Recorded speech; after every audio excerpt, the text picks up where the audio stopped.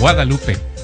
Araceli Guerrero, candidata del PRI a diputada federal por el cuarto distrito electoral, visitó este lunes por la tarde las colonias Condesa, Las Quintas, Los Frailes, Conventos y Jardines de Sauceda, colonias de reciente surgimiento y de gran problemática.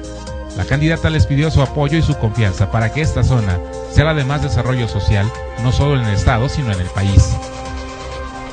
Juan Aldama, Habitantes de diferentes comunidades de la cabecera municipal hicieron un llamado a las autoridades de la jurisdicción sanitaria y a los servicios de salud de Zacatecas a que se dote de medicamento al centro de salud.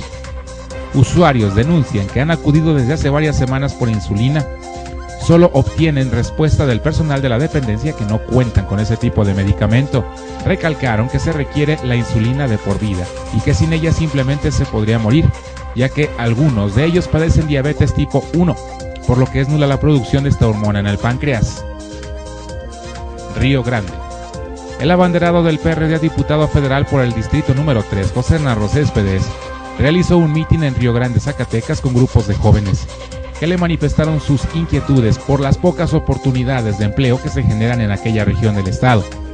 El candidato se comprometió a generar desde el Congreso las reformas necesarias para que los jóvenes puedan obtener un empleo, ya que muchos de ellos son cabeza de familia y a realizar las gestiones para que no se abandone a este sector de la población.